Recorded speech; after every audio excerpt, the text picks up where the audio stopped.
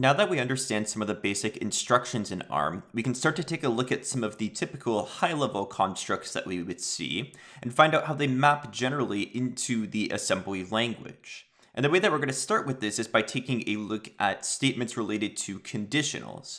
These would be statements sort of like if statements in higher level languages. We want to take instructions based on the result of something else that has happened in the program already, perhaps something related to a user input or something of the sort. And we want to be able to take different paths based on the values that are provided. So in this video, I'm going to give you some really basic examples of how this can be done. So the main way that we do these branching instructions is using comparators and branches. So a comparator is something that allows us to compare two values to determine whether or not they are greater than, less than, or equal to each other. Branches, on the other hand, allow us to move around our program to different locations based on the result of comparisons. So for example, we might want to move to a different part of the program if a result is greater than another, or maybe if two results are equal, we move to a different location in the program. This is very similar to the way that if statements and else statements work in your typical programming languages. So let's take a look at a really simple example. I'm to go ahead and move some values into some registers, we'll do some comparisons, and see generally how these branches actually work. So let's move it to R0, the value 1. I'm going to move 2 into R1. And now I'm going to do a comparison between these two values. And the way that we do this is we use CMP, that's our comparison instruction, and then we give it two arguments. And I'll discuss how this generally works once we've got it written out here. So what a comparison is really doing is it's going to take a look at R0 and R1, and it's going to do the following computation. It's going to do R0 minus R1. So it's going to subtract the two from each other. Why does it do this? Because this is a way of comparing two values. We know that if R0 is bigger than R1, then the result of this will be some positive number. If R0 is smaller than R1, the result will be some negative number. And if they're the same as each other, of course, the result is going to end up being zero. So we can know those three results based on the subtraction of the numbers. So what will happen is the computation for the compare will do this subtraction. And what will happen is this CPSR register, this one right here, is going to get set based on the results of the subtraction. Now, as we've briefly discussed in the CPSR register, we can set different things like negative, zero, carry, overflow, and these sorts of flags.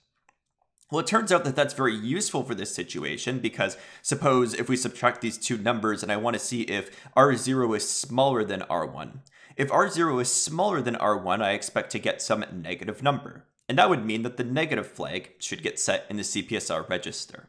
So you see how all of this sort of fits together. We've sort of put the puzzle together and we can see how we can use all of these different pieces to get our conditional statements. So this is a very high level construct that we're able to replicate in assembly. For that matter, when you compile your high level languages, it's using this sort of idea in the background. Maybe not exactly like this, but similar sorts of ideas to this.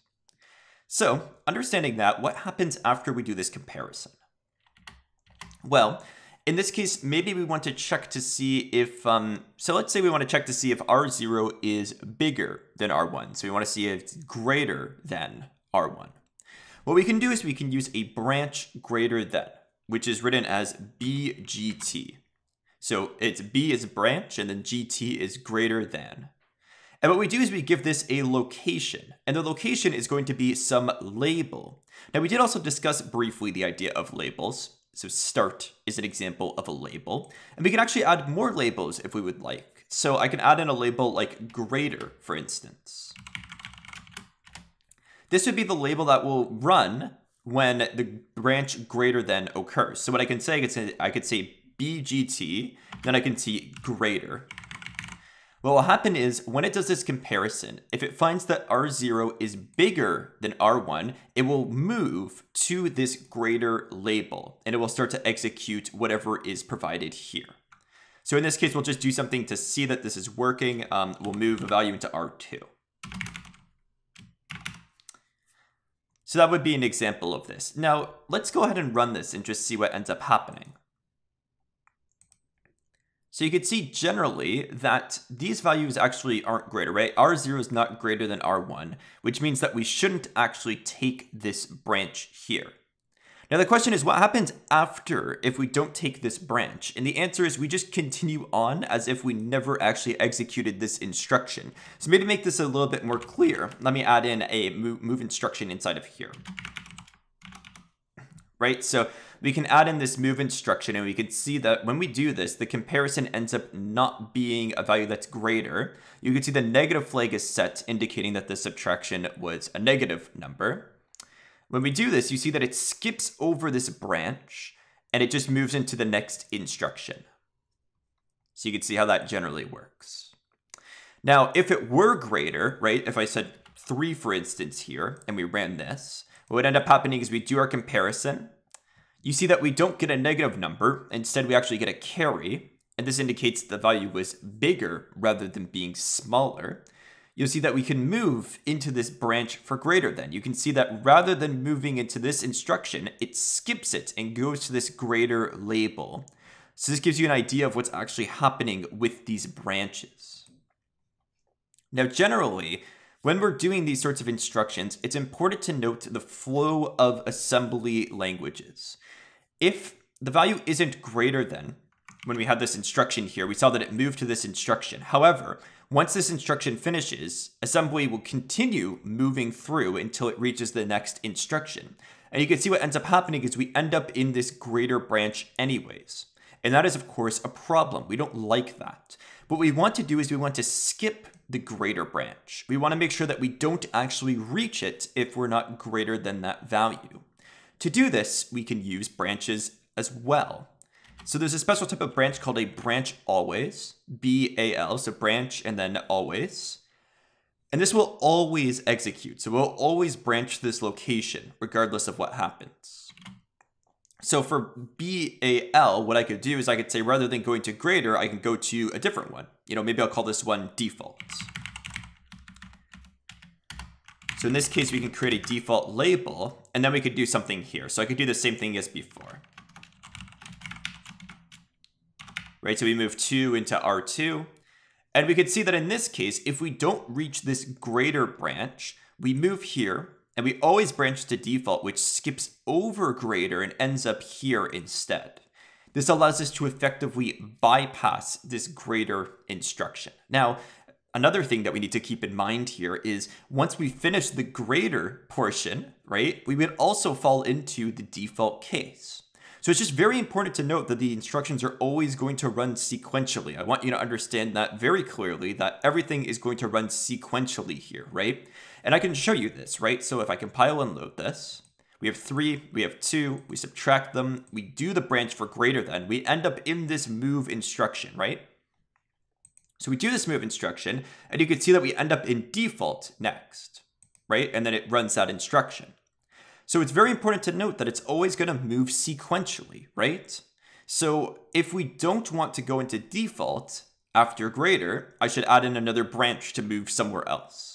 So this is just something to keep in mind when you're writing these branches, everything runs sequentially. That could be a little bit tricky, so just be very careful of that. Stepping through the programs is gonna make it very clear what is going on. You'll understand it completely once you step through a few programs, but just keep that in mind and keep thinking about that as you're writing your code and running it and practicing with it. So this gives you a general idea of the different branches and how they generally work in our program. Now there's of course a lot of different branches and I'm not gonna like show off every single one of them or go into a hefty amount of detail for them. I'll just sort of like lay out a few of them here that are common. So we have greater than and greater than or equal to. We have less than and less than or equal to. And then we have equals or does not equals. Those are the different branches that we have available to us. And they're fairly intuitive in naming, right? EQ equals NE, not equals LT is less than, LE is less than or equal to, so on like this.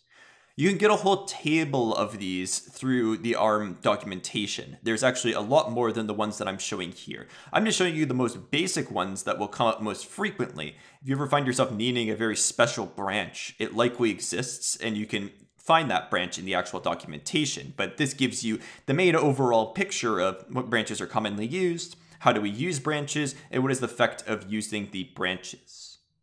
So that's everything for this video. In the next video, we're going to see some applications of branching in the form of looping. So branches allow us to implement looping and repetition as well.